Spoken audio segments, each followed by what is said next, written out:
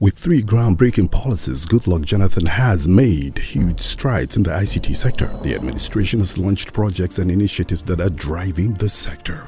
A robust national broadband strategy for universal and fast access to the internet.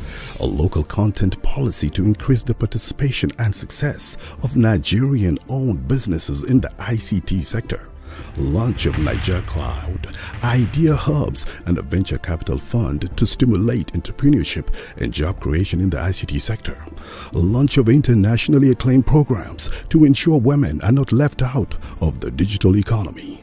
The ICT sector is one of the fastest growing sectors in the economy, contributing 9.58% to GDP up from 5.4% in 2011.